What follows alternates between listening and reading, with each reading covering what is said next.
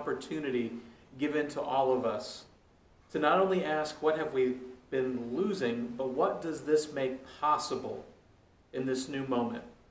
For my wife and I, one of the things that we've been wanting to do for years is clean out our garage. It's been one of those places that has now become full from floor to ceiling, wall to wall, with stuff.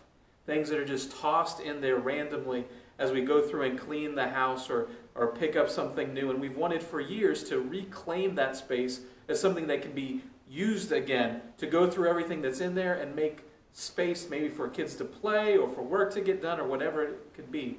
Well, since we haven't had soccer practices, we've had a few hours here and there to go in and use the room. Because we're not traveling like we normally do, we've had a few days to go in and clean stuff out. And so we're at the place now where it is almost completely reclaimed.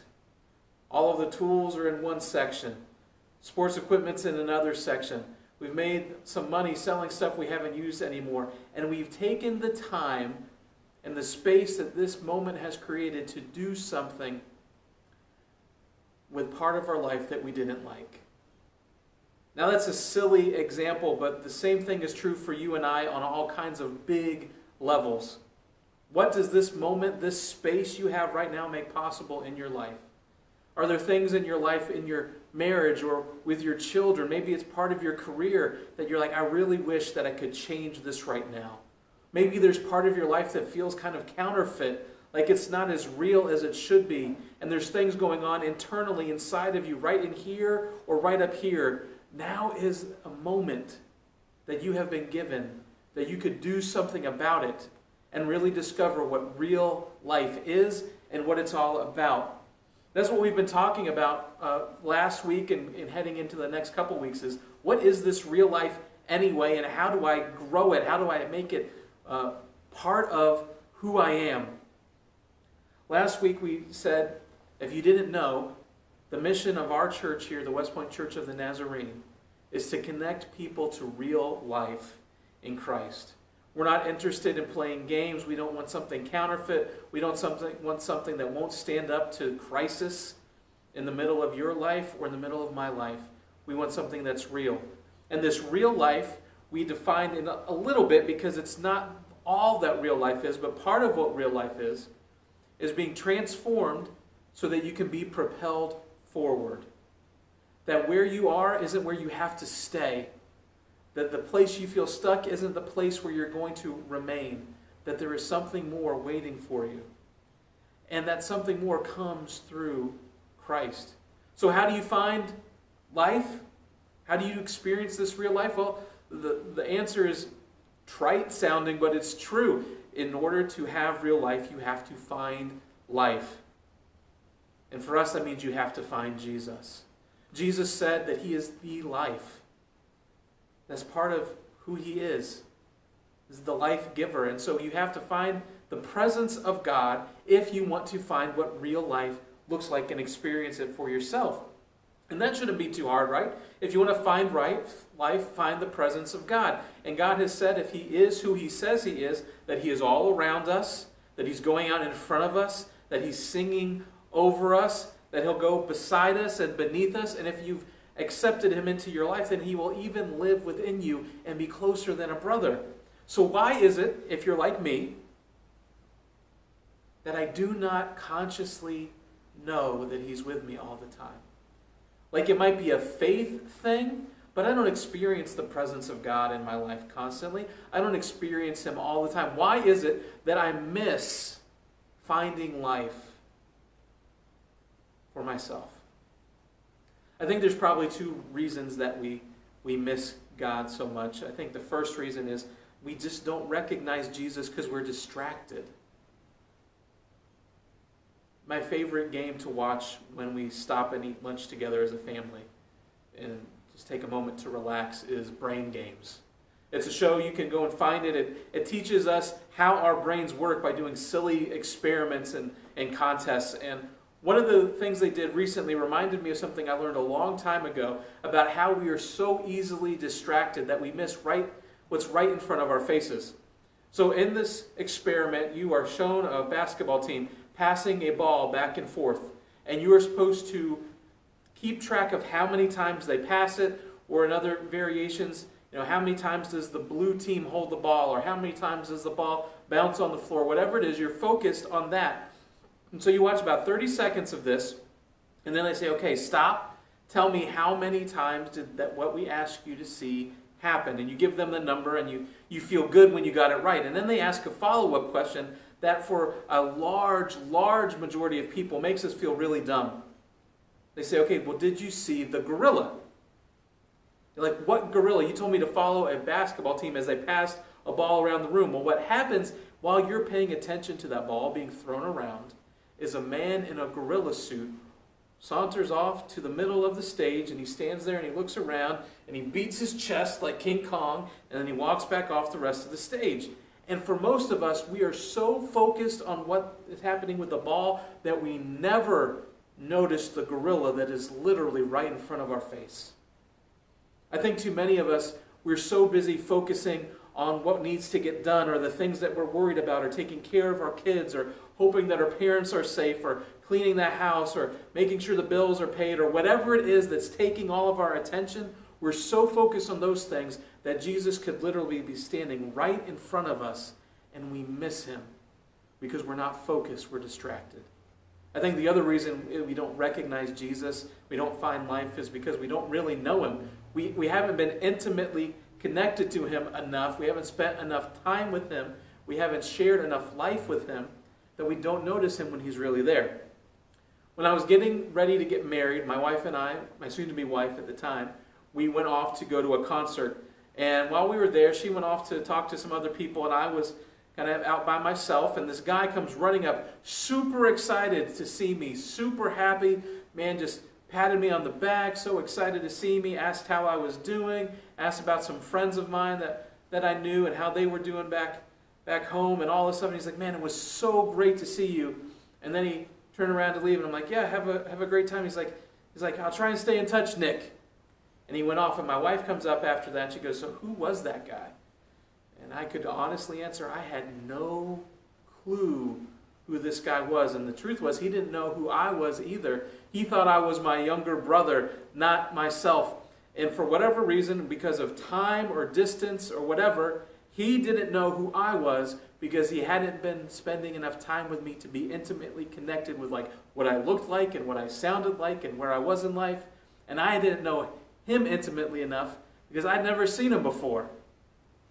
When we don't spend time with God, we miss Him.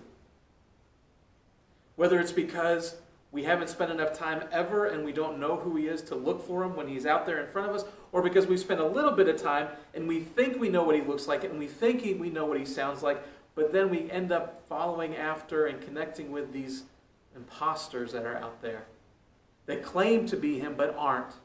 In either case, we miss finding real life because we haven't found the presence of God. But there is something you can do that will help you find life. You can worship. Now, worship focuses us so that we can know Jesus intimately. Worship focuses us so we can know Jesus intimately. He, he inhabits the praises of his people, he says. He, where two or three are gathered in his name, he's there in the midst. And so, if we want to find the presence of God, we worship. And Christ is always initiating a connection with us through his grace. He's always reaching out, always trying to connect, always giving us grace. And so, worship, if you want a good definition of worship that you might not find in a book somewhere, it's definitely not in Wikipedia, but a great definition of worship is responding to the grace of God in the right ways. Responding to the grace of God in the right ways. Because when we respond to God's grace that He's always giving us, then it transforms us and it makes me aware of His presence and how close He really is. This makes worship a lifestyle, not a 45 minute service or 20 minutes of singing or listening to Hillsong when you get home. This is a way of living to know that God is sending you grace and then responding to that grace as best you can over and over again. Uh, Romans chapter 12, Paul's writing, and he's trying to explain this to the people that are going to hear this about what it means to really worship. And he put it this way He says, Therefore I urge you, my brothers and sisters, in view of God's mercy, offer your bodies as living sacrifices, holy and pleasing to God. This is your spiritual act of worship. Don't conform any longer to the pattern of this world, but be transformed by the renewing of your mind. And then you will be able to test and approve what God's will is his good, pleasing, and perfect will. Well, Eugene Peterson wanted to make that connect with us a little bit deeper. Because this idea of worship as a lifestyle is not something that you get all of the time. It's not the way we use the word. And so he rewrote these verses this way. So here's what I want you to do God helping you. Take your everyday, ordinary life, your sleeping, eating, going to work, and walking around life, and place it before God as an offering. Embracing what God does for you is the best thing you can do for Him. Don't become so well adjusted to your culture that you fit in without even thinking. Instead, fix your attention on God, and you'll be changed from the inside out. Parenting is a great example of this. Like, my kids are a gift from God. My ability to provide for them and to parent them is a gift from God. It's a grace that He's given me. So, how do I respond to that grace with my kids? Well, I parent them for God. My parenting is an act of worship. And when I think about it that way, man, that changes things like how I discipline my kids, how I see them, what I want them to get involved in, what, that, what I'm okay with them doing. It becomes an act of worship. Not only am I doing it for them, but I'm doing it for God on behalf of God. It's an act of worship. Jesus himself modeled two ways that we can do this that we now allow our minds to be changed, that we offer our bodies as living sacrifices, uh, how we take our everyday, ordinary life and place it before God. Mark chapter 1, uh, starting at verse 21 to the end of the chapter, actually tells the story of about a 36 hour period in Jesus' life. And in this 36 hour period, it has a couple of patterns that you'll see repeated over and over, not only in the book of Mark, but also through all of the Gospels, that this is how Jesus did life in order to stay connected to his heavenly Father. So, starting in verse 21, it says this It says, They went to Capernaum where the Sabbath, when the Sabbath came. Jesus went into the synagogue and began to teach. The people were amazed at his teaching because he taught them as one who had authority, not as the teachers of the law. Just then, a man in the synagogue who was possessed by an evil spirit cried out, what do you want with us, Jesus of Nazareth? Have you come to destroy us? I know who you are, the Holy One of God. Be quiet, said Jesus sternly. Come out of him. The evil spirit shook the man violently and came out of him with a shriek. The people were all so amazed that they asked each other, What is this? A new teaching and with authority? He even gives orders to evil spirits and they obey him. And news spread about him quickly over the whole region of Galilee. Now, Jesus goes to the synagogue to worship together with others. He goes there to read scripture, to hear a teaching on what's happening, to focus himself on God. Together, they are shaped by what they hear.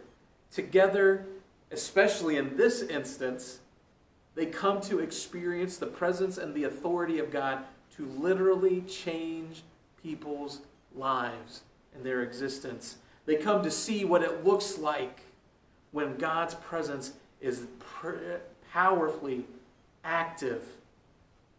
That's the same thing that Jesus invites us to do. He invites us to come and worship together. Now, I hope that this pandemic and the season that we've been has, has really drilled home for you that worshiping together is more than just showing up at a certain place at a certain time together for like a limited space and calling it worship. That's part of it, but that's not all of it, man. Church is wherever you are to worship God. It can be at home with your family, doing this through a YouTube or a Facebook Live. It can be gathered together with people at work, at lunch. It can be in your car as you worship going down the road. Do not limit where you worship together, but make sure that where two or three are gathered in his name, you realize that the presence of Christ is there. When we get together like this, we do it to eliminate distractions. Like I come in and the other stuff in my life, my worries and my regrets, the things I've neglected, the things that are waiting for me, the bills I have to pay, the arguments I'm in, the drama at the office, all of that stuff is put to the side so I can focus in on Christ through a call to worship, through reading of Scripture, through a song that's heard or sung, through this word that I'm sharing right now. Hopefully, Christ is being drawn into your attention. So you don't have to worry about the other things that show up. And when you focus on Him now, you can see Him better later. And so we respond to the grace that God gives us in this space with awareness awareness of His presence, awareness of His authority, awareness that He really is who He says He is the Lord of all, the one who is worth chasing after, the one who has always been chasing after me.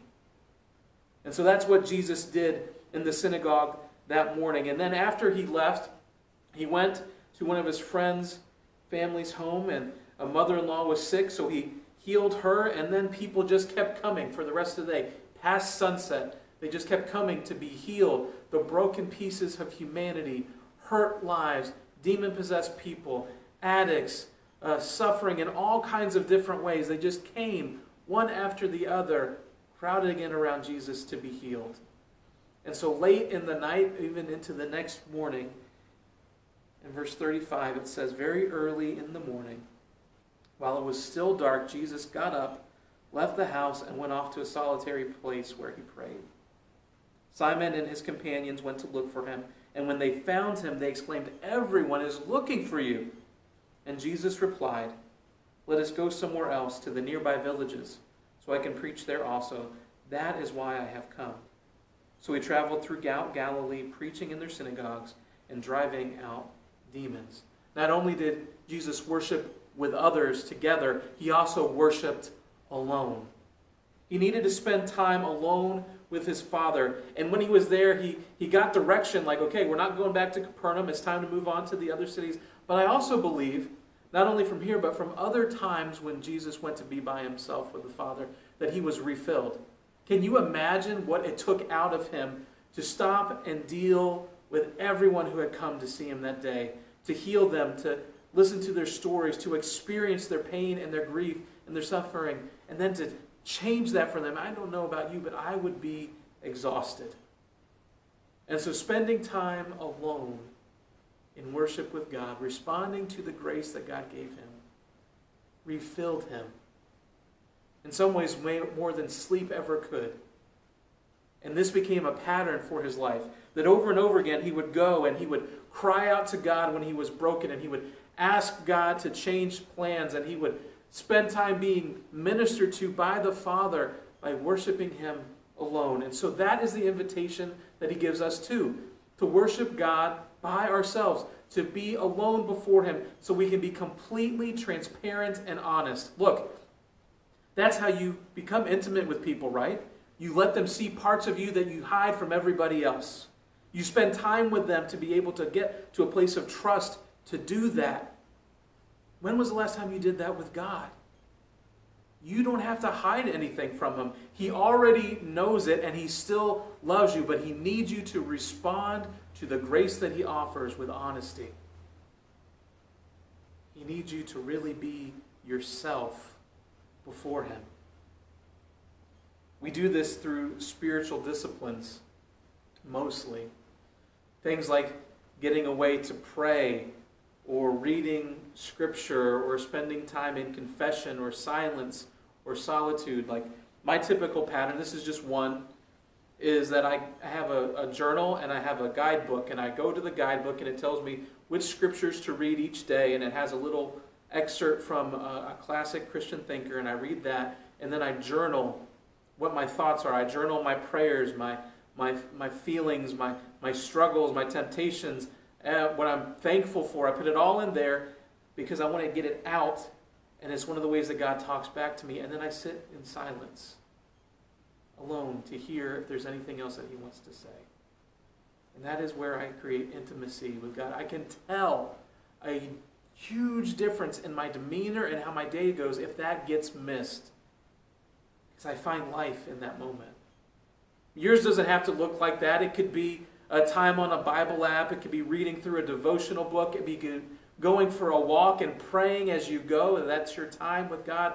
Uh, Susanna Wesley, John Wesley's mother, a couple centuries ago, in a house without technology, with lots of kids running around her, would literally take the apron in her lap and put it up over her head, and her children knew to leave her alone because that was her time with God. What are you doing to connect with God? Find one that fits you. It doesn't have to look like anybody else's, but do things on purpose to connect with God. And it's no coincidence, as you continue to read the life of Jesus, that right before or right after all of the really huge, significant events in his life, you'll find this time of worshiping alone. I don't think it's a coincidence for Jesus, and I don't think it's a coincidence for us. And so when we find ourselves either right before or right after all of the big moments in life, time worshiping God, responding to the grace He gives us, man, that makes all the difference in the world. So, how are you finding life? As a church, we can give you tools, we can create opportunities, but you have to own it yourself. No one can make you recognize Jesus. No one can force you to worship. Only you can do that. Only you can pursue the one that has been pursuing you before you were even born. I want to challenge you to do something about that. To not just think about it, to not just say, let's try it, but to actually train to be able to do it. Whether that's through doing a plan like I've talked about or not is not the important thing. I would ask you to do two things. Number one, calendar and commit to worship with others. Whether you're doing it at your home or coming in to the building when we're open on Sunday mornings or however it looks for you, commit. Put it in your calendar. Set aside the time like you would going on a date. And don't let other things interfere with that, but commit to it. And then make a plan to spend time worshiping God alone. Carve it out on the calendar. Find something that works for you. Start with maybe going for a walk. Start with picking up a devotional book. If you need help, message us. We'd love to give you some more resources for that. But find something to start and then change it as you learn what works for you. But do it and commit to it. Don't just say, well, I'll try it and see how it feels like. Even on the days when it doesn't feel like it's working, keep doing it because God is with you. And His presence is what changes everything in your life. That's what real life exists in. It is being in the presence of God. And so, if you want more of that, whether you're at work or at home or worshiping uh, in a service or whatever it looks like, if you want more of the presence of God in your life, then you have to be willing to find life where He says you can find. Would you commit to doing that today? And would you pray? Lord, thank you for the ways that you've shown us how to find you. That you didn't make it a mystery, but you have, have given us examples and you've given us plans, and you've shown us that it's more than just setting aside a, a little bit of time to sing some songs or listen to a sermon, but it is making a lifestyle choice to respond to the grace that you give us. Lord, I pray that as we go forward this week, we would not miss out on where you are in our lives but we would see where you're present. And we would respond to the grace that you've given us rightly. Lord, I pray that you would help us to commit to find you the ways that you've modeled by worshiping together, by worshiping alone, by spending time with you. So we're not distracted by the things that are going on around us, and we know you well enough to recognize you when you show up. Lord, I'm grateful that you are the one who always is coming after us first and always initiating this connection. So I pray that for myself and for those that would hear my voice, we would respond to the invitation to come and be closer to you with a yes each and every time. And that we would find in you, when we find life, we find life that can withstand any crisis, any situation, any enemy, any disaster. Because when you have life in you, that is real life. Because it is life itself. We pray this in your name. Amen.